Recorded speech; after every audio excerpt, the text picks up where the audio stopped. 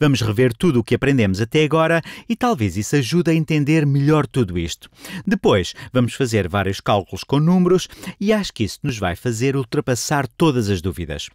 Em primeiro lugar, se estivermos a trabalhar com. Espera, deixem-me fazer aqui umas colunas. Se estivermos a trabalhar com. Vejamos, podemos chamar-lhe conceito. Conceito ou se estivermos a trabalhar com uma população, população, ou com uma amostra. O primeiro conceito estatístico de que falámos foi o de média aritmética, de tendência central. Aprendemos que essa é uma forma de medir a média ou a tendência central de um conjunto de dados. As outras formas de medida eram a mediana e a moda.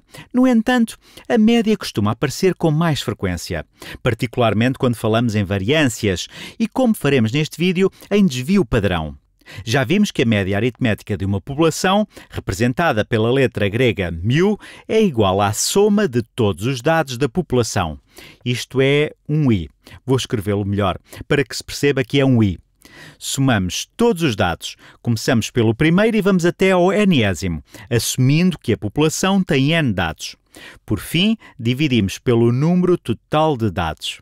E isto é precisamente a média que já sabiam calcular, mesmo antes de estudarem estatística. Somamos todos os dados e dividimos pelo número de dados existentes.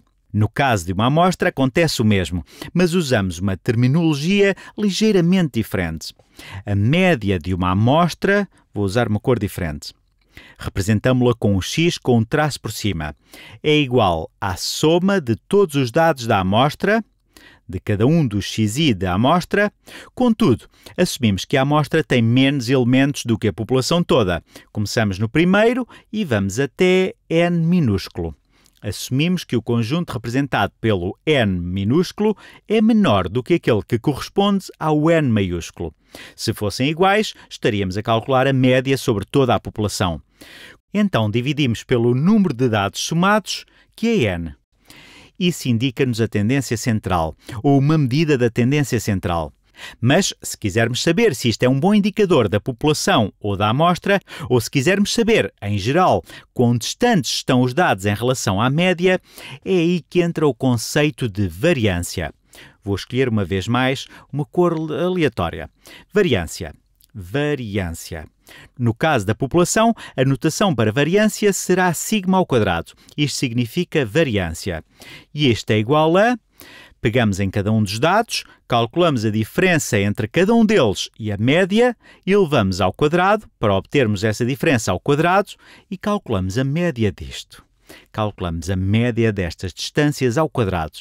Calculamos a soma de i igual a 1 até n e dividimos por n. Isto é variância. Variância de uma amostra. Isto é um pouco mais interessante. Falámos um pouco sobre isso no último vídeo. A ideia inerente ao cálculo da variância de uma amostra é estimar a variância de uma população.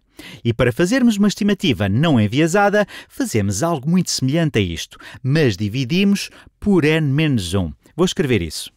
A variância de uma amostra, ou a variância não enviesada de uma amostra, por isso é que dividimos por n-1, denota-se por s ao quadrado.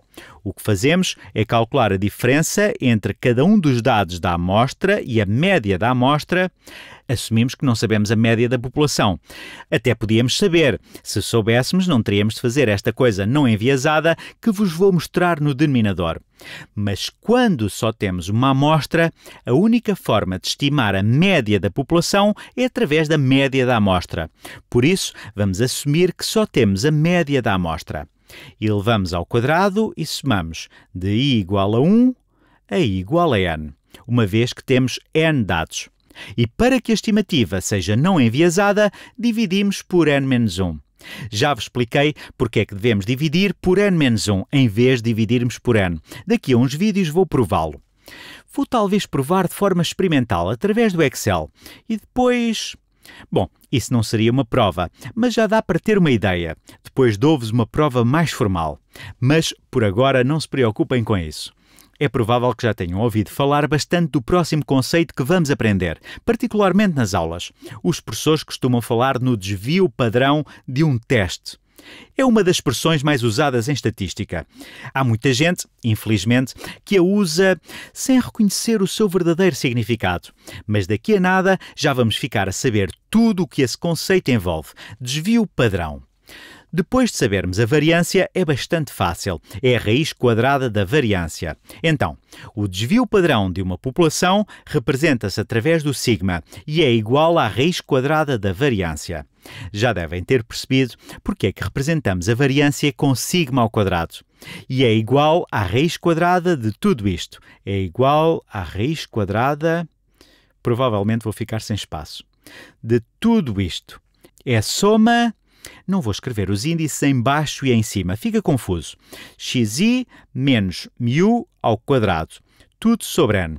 Depois, se quisermos o desvio padrão de uma amostra, é interessante, porque o desvio padrão de uma amostra, que é igual à raiz quadrada da variância de uma amostra, na verdade não é uma estimativa não enviesada para isto. Bom, não quero alongar-me em pormenores técnicos neste momento, mas isto representa uma boa estimativa para isto. O valor esperado disto será isto. No futuro hei de falar mais sobre a noção de valores esperados. Mas aqui, o valor esperado disto não é igual a isto.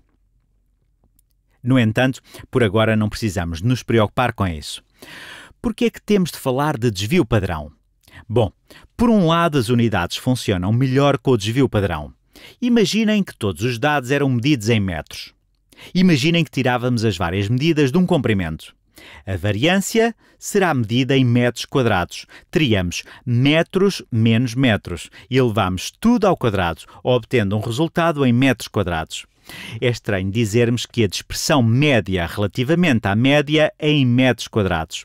Primeiro, ao calcularmos a raiz quadrada, obtemos um resultado em metros. Podemos dizer que o desvio padrão é x ou y metros.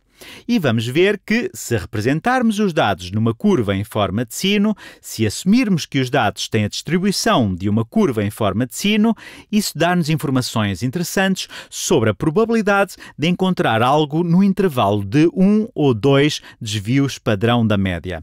Mas não quero alongar muito em termos técnicos. Vamos fazer alguns cálculos. Vamos calcular.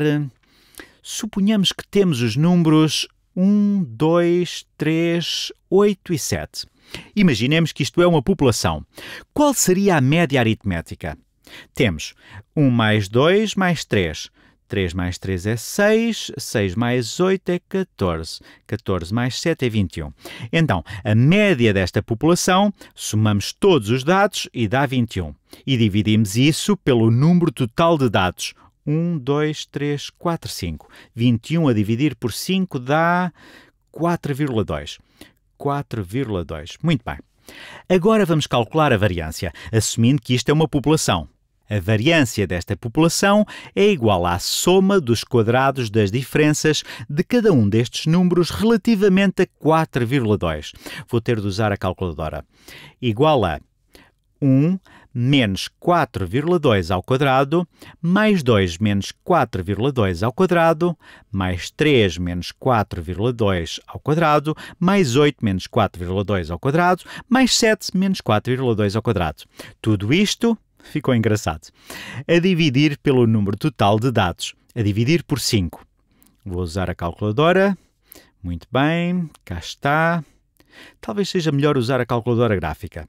Deixem cá ver se consigo. Deixem ver se consigo. Se consigo. Cá está ela. Acho que é melhor usar a calculadora gráfica. Assim consigo ver o que estou a escrever. Vou apagar isto.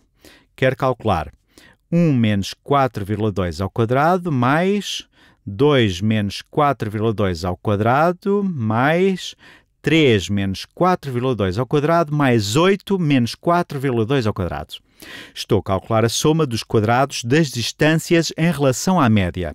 Mais 7 menos 4,2 ao quadrado. Isto é a soma. A soma dá 38,8. E é o numerador. Isto fica igual a 38,8 a dividir por 5. Isto é a soma dos quadrados das distâncias. Cada um destes valores, para que consigam relacioná-los com a fórmula, é igual a xi menos a média ao quadrado. Se calcularmos a soma de todos, O numerador é a soma de xi menos a média ao quadrado, de i igual a 1 até n. Esta soma deu 38,8. Calculei assim. Somei cada um dos dados menos a média ao quadrado e deu 38,8. E agora dividimos por n, que é 5. Este n aqui em cima também é igual a 5. 38,8 a dividir por 5 é a dividir por 5, 7,76. 7,76. A variância é, vou descer um pouco, a variância é igual a 7,76. Se isto fosse uma amostra de uma distribuição maior, se 1, 2, 3, 8 e 7 não constituíssem uma população, mas sim uma amostra de uma população maior, em vez de dividirmos por 5, dividiríamos por 4 e nesse caso a variância seria 38,8. Desculpem. 38,8 a dividir por n menos 1, ou seja, a dividir por 4. Nesse caso, a variância da amostra seria 9,7, se dividíssemos por n menos 1 em vez de ser por n. Mas não se preocupem com isto agora. Fiz só uma mudança no n. Mas depois de termos a variância, é muito fácil determinar o desvio padrão. Basta calcular a raiz quadrada. A raiz quadrada de 7,76 é 2,78. 2,7. Vá, 2,79 é o desvio padrão. Isto dá-nos uma ideia do afastamento médio dos números em relação à média aritmética, que era 4,2. E esse afastamento é-nos dado na unidade de medida original.